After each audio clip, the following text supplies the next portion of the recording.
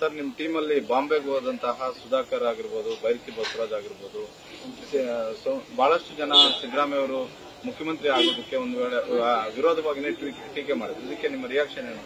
ನೀವೆಲ್ಲ ಬಹಳಷ್ಟು ದಿನ ಬಾಂಬೆಯಲ್ಲಿ ಇದ್ದಂತವ್ರು ಮಾಜಿ ಆರೋಗ್ಯ ಮಂತ್ರಿ ಕರ್ನಾಟಕದಲ್ಲಿ ಕಂಡರಿಯದ ಭ್ರಷ್ಟಾಚಾರಕ್ಕೆ ಕಾರಣೀಭೂತನಾದಂತ ಡಾಕ್ಟರ್ ಸುಧಾಕರ್ ಸ್ಟೇಟ್ಮೆಂಟ್ ಓದಿದ್ವಿ.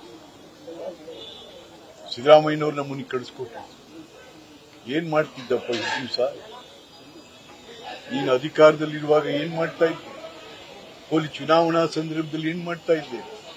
ಸೋತು ಸುಣ್ಣಾಗಿ ಮನೆ ಸೇರಿದ ಮೇಲೆ ನಿನ್ನ ಭ್ರಷ್ಟಾಚಾರ ಇದೆಲ್ಲ ಮುಚ್ಕೊಳ್ಳೋದಕ್ಕೋಸ್ಕರ ಸಿದ್ದರಾಮಯ್ಯ ಹೇಳ್ತೀಯ ನಾವು ಇದೆಲ್ಲ ಸುಳ್ಳಿನ ಕಂತೆ. ಯಾಕೆಂದ್ರೆ ಹದಿನೇಳು ಜನರು ಇದ್ವಲ್ಲ ನಾವು? ನಾನೇ ತಾನೇ ಈ ಬಾಂಬೆ ಬಾಯ್ಸ್ಗೆ ಲೀಡರ್ ಆಗಿದ್ದವನು. ಏನೇನಾಗಿದೆ ಗೊತ್ತಿಲ್ವೇ? ಹಾಗಾಗಿ ಸುಧಾಕರ್ ಆಗ್ಲಿ ಬಸವರಾಜು ಆಗ್ಲಿ ಮತ್ತೊಬ್ಬರಾಗ್ಲಿ ಹದಿನೇಳು ಜನರಲ್ಲಿ ಯಾರು ಕೂಡ ಸಿದ್ದರಾಮಯ್ಯನವರ ಪ್ರೇರಣೆಯಿಂದ ಅಥವಾ ಇನ್ಯಾರ್ದೋ ಪ್ರೇರಣೆ ಅಂದ್ರೆ ನಮ್ಮ ನಮ್ಮ ಪಕ್ಷವನ್ನು ಬಿಟ್ಟು ಬಂದವರು ಅಲ್ಲ. ಇದೆಲ್ಲ ಸತ್ಯಕ್ಕೆ ದೂರವಾದಂತ ವಿಚಾರ.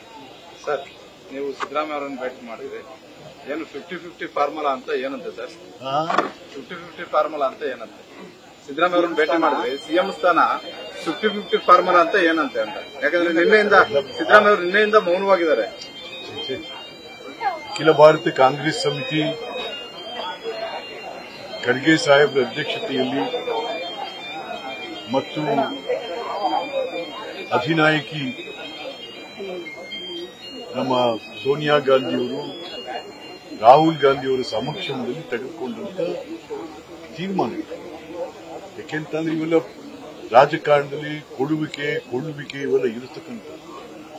Given and taken policy in the politics is common so ಆ ರೀತಿಯಲ್ಲಿ ಒಂದು ತೀರ್ಮಾನ ಅವರು ತಗೊಂಡಿದ್ದಾರೆ. ತರ್ಟಿ ತರ್ಟಿ ಅದೆಲ್ಲರಿಗೂ ಗೊತ್ತಾಗಿತ್ತು ಬಹಿರಂಗವಾದಂತ ವಿಚಾರ. ರಹಸ್ಯ ಏನಿಲ್ವಲ್ಲ ಅದಕ್ಕೆ. ನ್ಯೂಸ್ ಫಸ್ಟ್ ಪ್ರತಿಕ್ಷಣ ನಿಮ್ಮೊಂದಿಗೆ.